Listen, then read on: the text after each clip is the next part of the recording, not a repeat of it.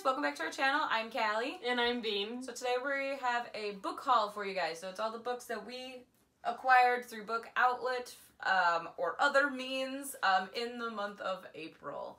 So we're just gonna get in. We probably won't get into a lot of the description just because we both have a fair amount of books and a fair amount of them are sequels or continuations to books that we've just wait been waiting for them to go on Book Outlet or Because we're broke. the first books I got are a part of a series. I got books two and three of the Miss Peregrine's Home for Peculiar Children, which is Hollow City and Library of Souls. Um, I've had the first book forever. I've yet to pick it up, but I still so want. I still want to have the whole series. So these were both on Book Outlet, so I got them. All right, first book I actually bought this month was um, Stephen King's The Pet Sematary. And I got this one because I've tried to read Stephen King in the past and just really haven't gotten into his writing, but I've only really read his short stories before. So I figured I'd give a full length novel of his a shot. And this is the book that he claims to be the scariest book he ever wrote. So I'm giving it a shot. I'm actually currently reading it and I'm halfway through and I still don't know what I think about it. Book I got was Dorothy Must Die by Danielle Paige, which is part of the Dorothy Must Die series. This was the last book in the entire series I needed to start it. I have all of the other books, so when I saw that this was on sale for like $2, I picked it up. The one hardback arc that I got this month is The Last Collection, um, a novel of Alyssa Schiaparelli and Coco Chanel by Jeanne Mackin. Um, and this book I got sent from the publisher. It comes out in June, on June 25th. And I really have no idea what it's about, um, except for it takes place in flapper times. I believe it's in the 1920s. Oh, 1938. I was close. The next continuation that I ended up getting this month was Vengeful by V.E. Schwab, which is the second book um, in the Vicious duology by V.E. Schwab. And I love her writing.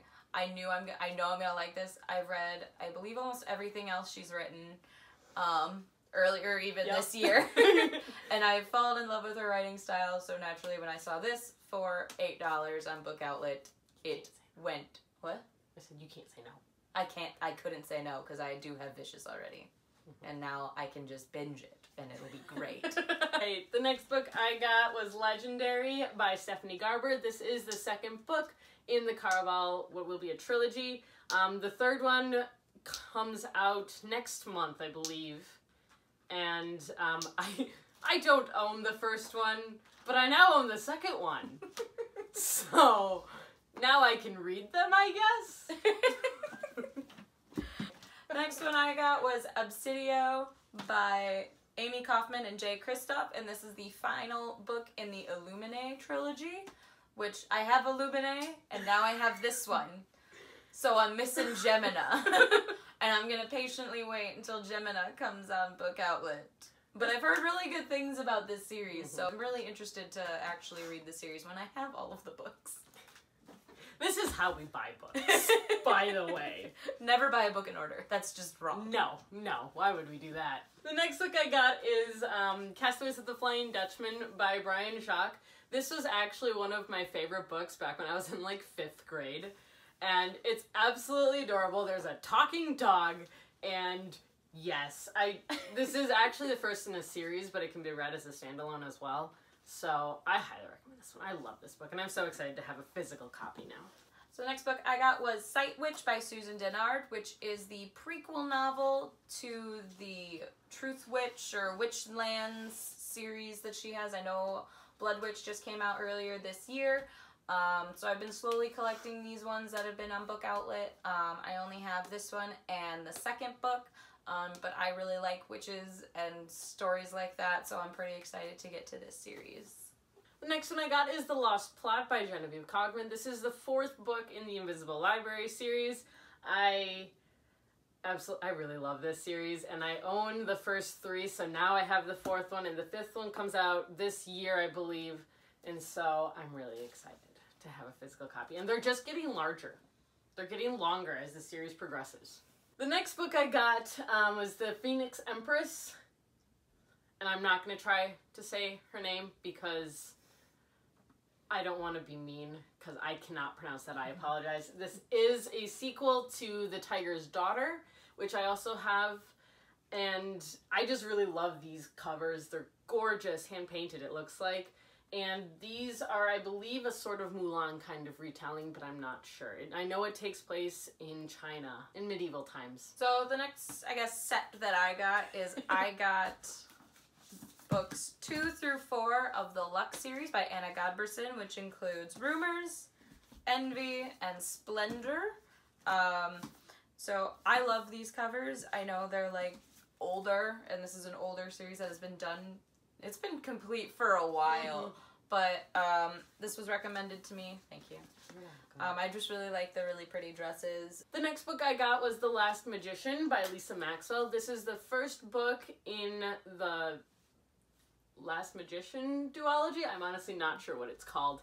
Um, but I've had my eye on this book for a while, but I really wanted the paperback version. And now that both books are out, I was able to get this first one. And yes, I'm going to try and get this sticker off. It's bothering me.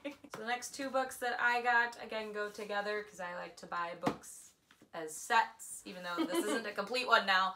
But I got the first two books in the Kane Chronicles by Rick Riordan. Um, I read the Percy Jackson series years ago. I plan on rereading it sometime this year. Um, but I never knew until earlier this year that he wrote other mythology based books. And these ones, all I really know about it is it's based on Egyptian mythology, which I love Egyptian mythology. It's just so interesting and different. And so I'm pretty excited to get to this series. All right, so you might know that I've been reading nonfiction as well this year. I try to read about two or so nonfiction books every month, and I've been doing pretty well with that so far. So I did pick up two nonfiction books from Book Outlet. The first one is Frozen in Time, an epic story of survival and a modern quest for lost heroes of World War II by Mitchell Zuckoff. And I really just have a fascination with World War II, and so I will read just about anything I can get my hands on about World War II and the different um, groups that were involved. Going along with that, I also got The Book Thieves, the Nazi looting of Europe's libraries and the race to return a literary inheritance by Anders Rydell. And this one follows um, all of the looting that was done during the Nazi regime of libraries and bookstores, and they're trying to find some of those books. And so I'm pretty excited to read this one That as sounds well. cool. Mhm.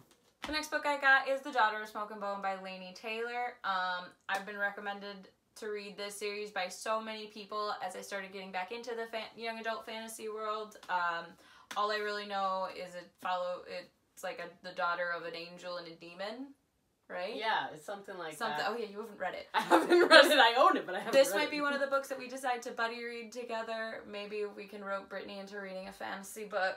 Uh, but this one was on sale, so I naturally wanted to pick it up because I've only really seen these books be sold as a final set, which are pretty expensive. Yeah. Next two books I got are actually part of a trilogy, and these are the second and third books of the Heroine Complex series. It number two is Heroine Worship, and number three is Heroine's Journey. And I own the first one as well, so now I have the complete trilogy. And these are supposed to be light um, fantasy books that follow superheroes in our world.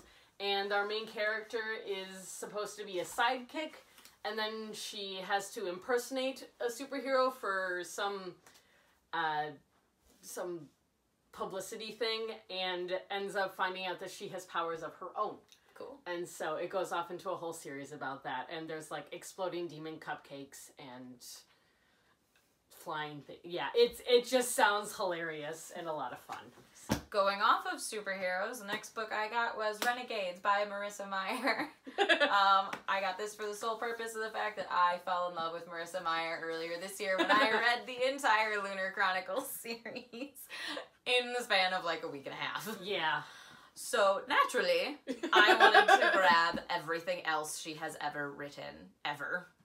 So I found this series, which follows superheroes, and that's all I know, and I kind of don't care.